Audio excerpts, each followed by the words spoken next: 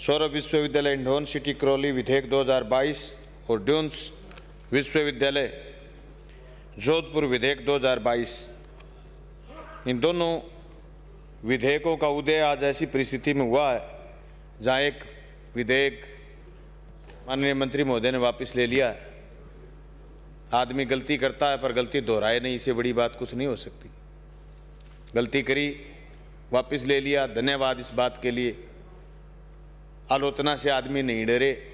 ये भी ताकत होती है सभापति महोदय। मेरे पास पहला सत्र में जो मैंने प्रश्न लगाया था, नौ विश्वविद्यालयों के रिकॉर्ड हैं। सभापति महोदय, किसी में जाँच पूर्ण नहीं हुई अभी तक भी। 19 में जो मुझे उत्तर मिला, आज भी वैसी की वैसी परिस्थिति। दूध का जला, आदमी छाछ फूक फूक के पीता है।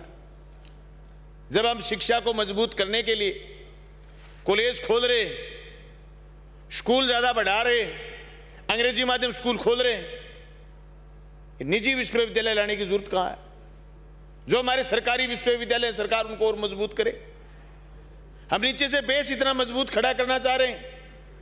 महात्मा गांधी, अंग्रेज़ी माध्यम स्कूल, स्कूलों का कर्मोन्नतिकरण, गवर्नमेंट कॉलेज इतनी तेज़ी के साथ किसी भी विधायक ने मांगे मुख्यमंत्री मोदी ने गवर्नमेंट कॉलेज दिए।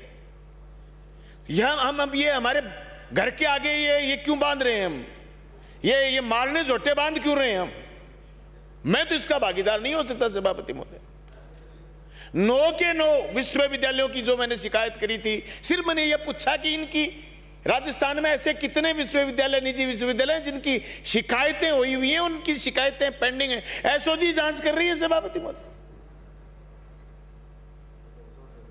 और एसओजी जाँच करने के बाद दोषी मान रहे एक भी विश्वविद्यालय की सरकार ने यह रिपोर्ट ढंग से यह नहीं करी कि साहब, इसकी कार्रवाई तो लंबी तर इतने दिन में कर दें। सभापति महोदय, इस सदन में मुझे लगता है, उच्च शिक्षा से जुड़े हुए 200 में से कम से कम 60-70 लोग हैं। एलएलबी तक पढ़ाई करे हुए कम से कम 40-50 लोग मिलेंगे।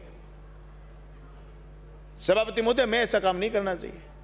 राजस्थान प्रदेश के नौजवान इस सदन के बाहर खड़े हैं। पाँच मिनट के लिए आप बाहर निकल जाओ, आपको ज्ञापन देने के लिए खड़े रहते किस पवित्र सदन में आप हमारी बात रखना। सभापति मोदी इतनी इज़्ज़त है इस पवित्र सदन की। लोग ये कहते हैं कि आप तो एक मिनट बोल जाना। सरकार हमारी बात सुनेगी। सभापति महोदय, रावत सर और टीबी को लेकर के और पीलीबंगा को लेकर के मैंने बात कही थी कि शेड्यूल कास्ट की मेरी कॉन्स्टिट्यूशन की विधानसभा या कॉलेज नहीं है, मुख्यमंत्री जी ने कल दोनों जगह घोषणा कर दी।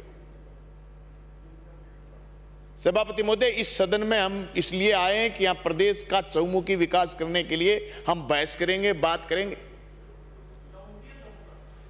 हम प्रदेश में शिक्षा के प्रचार प्रसार के लिए बात करेंगे।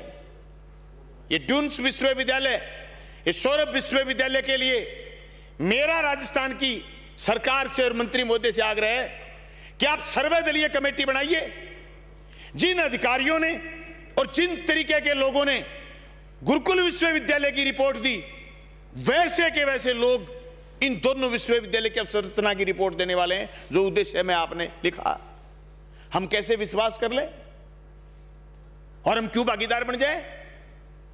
यह बात सही है कि एमएलए और मंत्रियों के दुनिया भर के काम होते हैं। हमें हमारे नीचे की सारे के सारे ढांचे पर विश्वास करना पड़ता। विश्वास के बिना प्रदेश को आगे नहीं ले जा सकते, काम नहीं चलता। लेकिन जब हमारे सामने स्थिति आ गई कि एक विश्वविद्यालय की रिपोर्ट फॉल्स करिए तो हम दोनों विश्वविद्यालय की रिपोर्ट को सही कैसे मान लें?